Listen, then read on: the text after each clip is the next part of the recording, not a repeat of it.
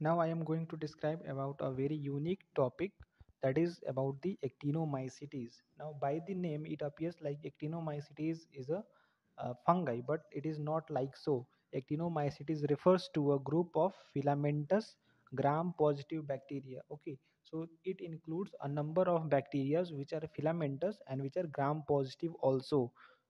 The example of the actinomycetes are the actinomyces the nocardia, actinomadura and streptomyces.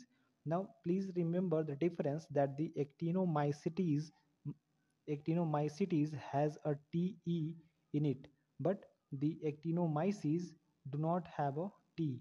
Okay, so this is the difference between the actinomycetes and the actinomyces. Actinomyces comes under or it is the example of the actinomycetes group of bacteria.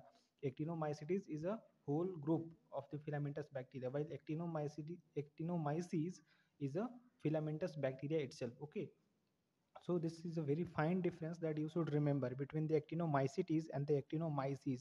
Now among all these four we have to talk about these two types of filamentous bacteria that is the actinomyces and the nocardia and we will cover all uh, these two in two separate videos. So first of all talking about the actinomycosis which is caused by the actinomyces which is caused by the actinomyces. Now what is the species name for that actinomycosis?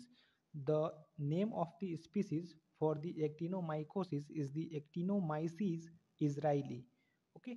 It is the actinomyces israelii. And what is the pathogenesis of this infection caused by the actinomyces israelii? So the infection i mean the pathogenesis is that these actinomyces are uh, very commonly found in the mouth. They are oral commensals. They are oral commensals very commonly found in the mouth. And whenever there is any trauma within the mouth like some uh, like you go to a dentist and the dentist extract the tooth. So there is open bleeding in the mouth. So that may be a that may be a trauma. Other than that if we uh, you are when we are brushing very uh, quickly or very fastly to uh, attend to the early morning lectures in your college then during that uh, very rapid brushing of your teeth there may be uh, uh, any uh, injury to the gum and may lead to bleeding or may lead to open bleeding in your mouth. So these are the some of some types of trauma that may occur in the mouth and that predisposes to the infection with the oral commensals that is the uh, actinomyces israelii. So the infection caused by the actinomyces israelii through that trauma in the mouth uh, is a type of chronic granulomatous infection. Okay it is a type of chronic granulomatous infection and it is characterized by painless wood like hard benign swelling. So there will be a swelling around the mouth around the jaw and that swelling will be benign swelling. That will not be a malignant that will appear as if it is malignant because it will be very hard on touching but it is not benign it is not malignant it is a benign swelling and it will be painless swelling and it will be very hard swelling. So it's it is it is wood like since it is hard so it is wood like so there will be painless and wood like hard swelling around the mouth or around the jaw okay? And there will be sinus formation. So there will be sinus formation over that swelling and plus there will be discharge coming through that uh, swelling. Okay that discharge will contain certain amount of granules also. So these are the three typical and the characteristic features for the actinomycosis. Actinomycosis that is caused by the actinomyces israelii. Now the clinical manifestations if we talk about the clinical manifestations then the it, actinomyces, actinomycosis can present to us in different ways.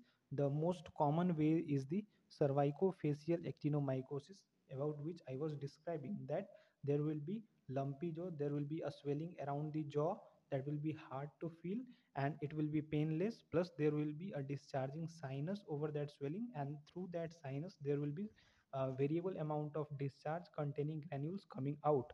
So that will be the characteristic finding that we get in the case of cervicofacial actinomycosis and similar is the case if there is bone infection caused by that actinomyces israelii then also we will see that swelling and those granules coming out through that uh, through a particular sinus that has been formed over that swelling. So the presentation will be same but the clinical uh, I mean manifestations will be different okay?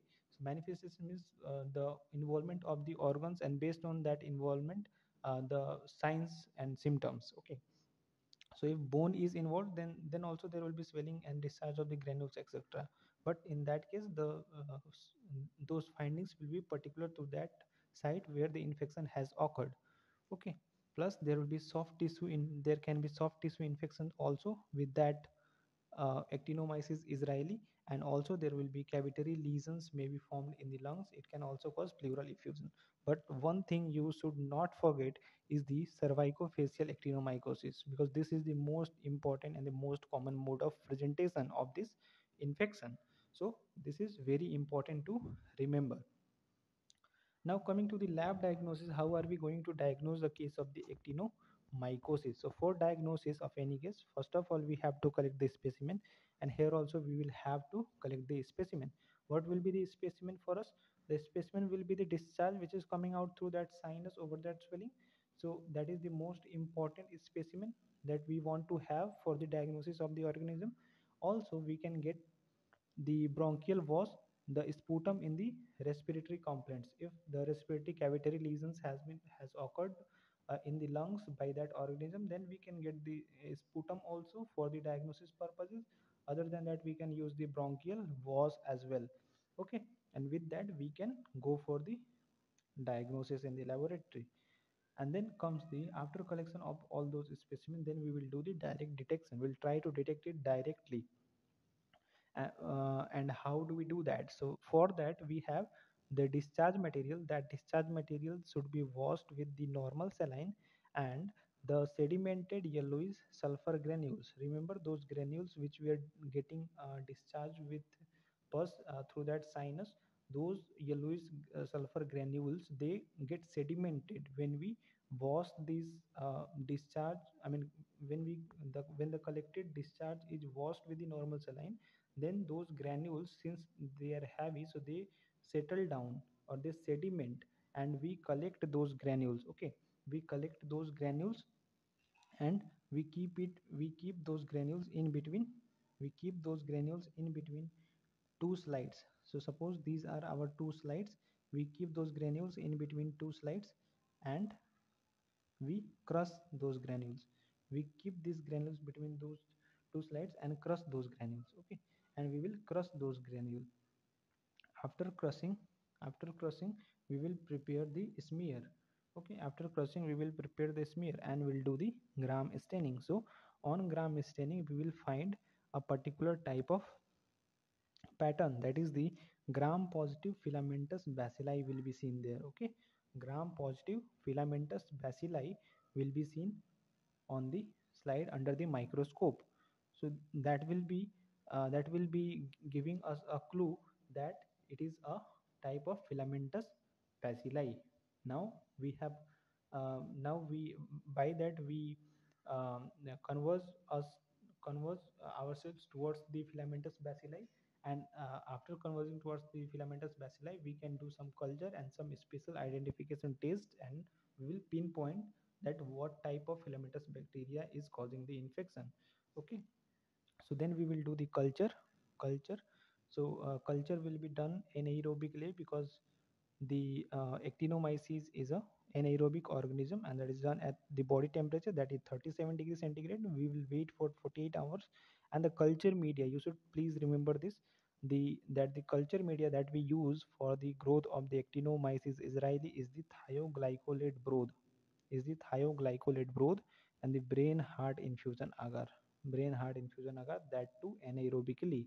So on the thioglycolate broth you get the fluffy ball like growth at the bottom. The fluffy ball like growth at the bottom. While in case of brain heart infusion agar you get the spider colonies. You get the spider colonies. These are the two important findings of the actinomyces israelii and may be asked in the mcqs as well. So please remember this that the actinomyces israelii on thioglycolate broth produces fluffy balls like growth and uh, brain on, on the brain heart infusion agar it produces spidery colonies. It produces the spidery colonies. So this would be remember because it's important from mcq point of view. Next what we have to do is to confirm whether uh, a parti i mean uh, what type of filamentous bacteria it is. So for confirmation of the species we have got some modern techniques which we talk about in uh, almost our all videos in lab diagnosis. That is the MALDI-TOF and the Vitek and PCR based methods and the conventional biochemical tests are the older methods. Now nowadays we are not going for the conventional biochemical test methods rather we have got the modernized techniques for detection of the uh, particular species. So we can do the pcr we can do the MALDI-TOF Vitek they will tell us the uh, species name. So that's all how we uh, diagnose a case of the actinomycosis. This is all about the actinomyces that may be asked as a short note